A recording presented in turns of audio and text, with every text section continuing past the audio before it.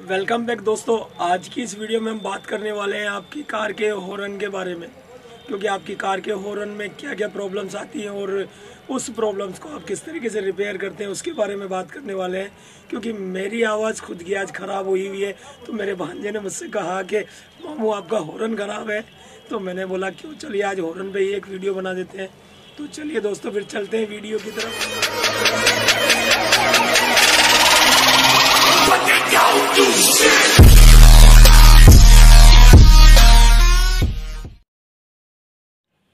तो दोस्तों, मैंने सबसे पहले ये हॉर्न ले लिया है। ये हॉर्न बंद है।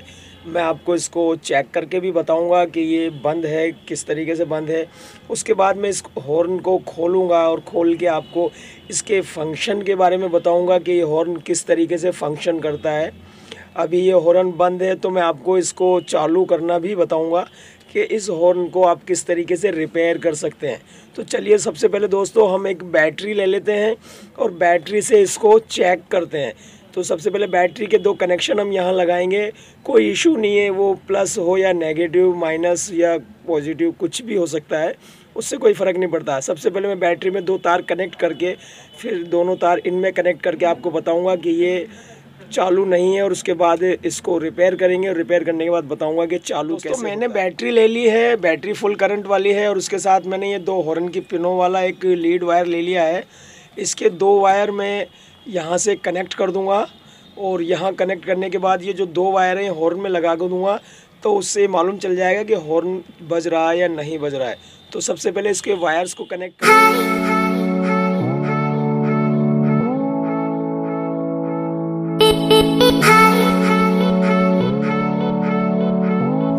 आपने देखा इसको, ये भी करंट लगाने के बाद भी चाल, चालू नहीं हुआ।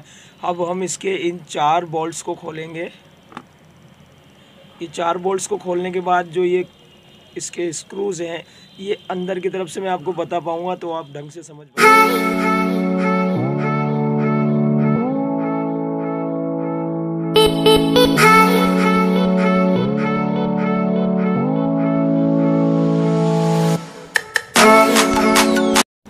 दोस्तों, मैंने पूरे हॉर्न को खोल लिया है। मैं आपको एक एक पार्ट के बारे में बता रहा हूँ। अब ये इसका एक लाउड स्पीकर होता है हॉर्न का, जहाँ से आवाज़ को लाउड किया जाता है। और इसके बाद जो इसका डायफ्राम होता है, जहाँ से कि लाउड क्रिएट किया जाता है और इसी हॉल से इसको यहाँ और ये जो आप देख रहे हैं, ये इसका मैग्नेटिक फ़ील्ड है कोयल और पॉइंट है, जहाँ से मैग्नेट बनता है और डायफ्राम काम करता है। ये डायफ्राम जब इसमें लगता है तो यहाँ एक वाइब्रेशन होता है वाइब्रेशन होता है तो एक आवाज़ डेवलप होती है। आवाज़ जब डेवलप होती है तो लाउड से यहाँ उसको लाउड किया जाता है और लाउड स्पीकर से उसको आवाज़ को बाहर की तरफ़ निकाला जाता है। इसके अंदर एक कॉयल लगी होती है और कोयल के अंदर एक पॉइंट होता है। मैं आपको इसको खोल के बता रहा हूँ। उसके बाद इसको चेक करना भी बताऊँगा मैं। ये बैंड वगैरह मैं खोल लेता हूँ। तो खोलने के बाद आपको इसकी कोयल को ढंग से दिखा पाऊँगा और दिखाने के साथ ही मैं आपको उसको रिपेयर करना और उसको चेक करना भी बताऊँगा। दोस्तों, ये इसका पॉइंट है। पॉइंट के बीच में एक स्प्रेसर है और ये दूसरा पॉइंट है। ये जब दोनों पॉइंट आपस में कनेक्ट होते हैं तो कोयल के अंदर एक मैग्नेट फ़ील्ड बनता है। वहाँ करंट दोस्तों हॉर्न की कोयल आपके सामने है। और उसके दो वायर भी आप देख पा रहे हैं आराम से।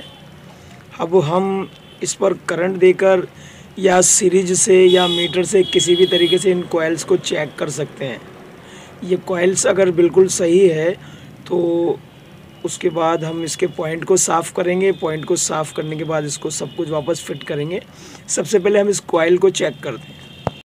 अगर हम मल्टीमीटर से हॉर्न की कोयल को चेक करना चाहते हैं तो हमें मल्टीमीटर का जो स्विच है, इसको ऑम्स पे लाना होगा। तो मैं स्विच को ऑम्स पे ले आता हूँ। मैंने इसको 200 ओम्स पे ले लिया है। अब मेरे इसमें देखिए, आप ज़ीरो ज़ीरो है। मैं यहाँ इसको दोनों पॉइंट्स जो इसके हैं, वो कोयल पे लगा करके चेक करता हूँ। देखिए मेरी कोयल यहाँ बिल्कुल सही तरीके से काम कर रही है ऑम्स बता रही है तो अब यहाँ इसको थोड़ा साफ़ करेंगे। साफ़ करने के बाद इसके पॉइंट को एडजस्ट करें नहीं है तो आप बैटरी से भी इसको चेक कर सकते हैं। कैसे चेक करेंगे वो बताता हूँ। हम ये दोनों वायर इस कोयल के दोनों वायर्स पर टच करके फिर इसको चेक कर सकते हैं। सबसे पहले तो आप यहाँ स्पार्क दे के देख सकते हैं। अगर यहाँ स्पार्क आ रहा है देख पा रहे हैं आप ये स्पार्क बनेगा। जैसे ही आप यहाँ स्पार्क करेंगे यहाँ मैग्नेट बन जाएगा। इस पॉइंट की तरफ़ भी देखें पॉइंट में जो आपको एक गड्ढा सा नज़र आ रहा है इसको साफ़ कर लें रेजमाल से एमरी पेपर से। और वो जो दूसरा वाला पॉइंट है उस दूसरे वाले पॉइंट को भी आप चेक कर लें। दूसरे वाले पॉइंट में भी आपको गड्ढा दिख जाएगा।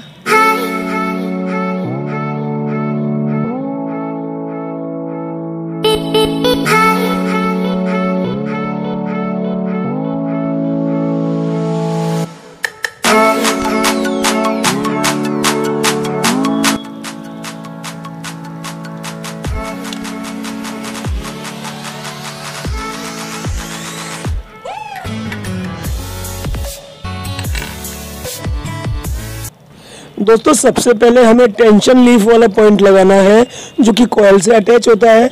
उसके बाद उसका स्पेसर लगाना है। स्पेसर को देखना है, जो डायफ्राम से अटैच होगा वरना शॉर्ट करेगा डायफ्राम और उसके बाद जो दूसरा पॉइंट है उसको बिल्कुल जस्ट अपोजिट लगाना है, ताकि दोनों पॉइंट जब भी मिले, आपस में आमने सामने मिल जाए। ये लगाने के बाद हम जो तीसरा जो बोल्ट है, स्प्रिंग वाला, उस बोल्ट का स्पेसर लगाते हुए उस बोल्ट के अंदर स्प्रिंग लगाकर और उस पॉइंट पर उसको टच कर देंगे ताकि वहाँ से हम एडजस्ट कर सके।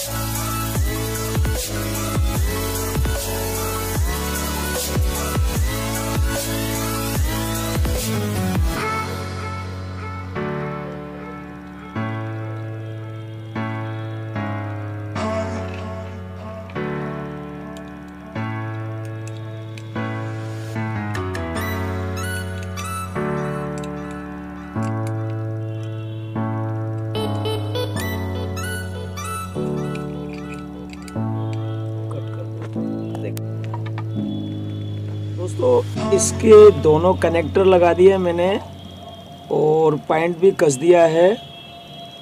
आप देख पा रहे हैं, मैंने लगा दिया हॉर्न की पिन अब यहाँ से हम देखेंगे कि इसमें करंट का स्पार्क आ जाना चाहिए। मतलब यहाँ से जब अगर करंट का स्पार्क आ रहा है तो अंदर की तरफ़ मैग्नेट बनना शुरू हो गया है। दोस्तों, देखिए, मैंने ये वायर को जैसे ही इसमें कनेक्ट करूँगा, यहाँ मैग्नेट बनेगा, मैं अभी पहले लगा रहा हूँ इसको। यहाँ देखिए, इस टाइम कुछ मैग्नेट नहीं है, मगर जैसे ही प्लग लगेगा, यहाँ मैग्नेट बनेगा। देखिए, छोड़ना, हटाना। देखिए, हटाओ। देख, लगाओ। दोस्तों, इस मैग्नेट को समझने के लिए मैं डायफ्राम का यूज़ कर रहा हूँ। देखिए, मैंने डायफ्राम को इसमें लगा दिया है और अब जैसे ही इसमें करंट का स्पार्क लगेगा, देखिए किस तरीके से काम करता है। आप।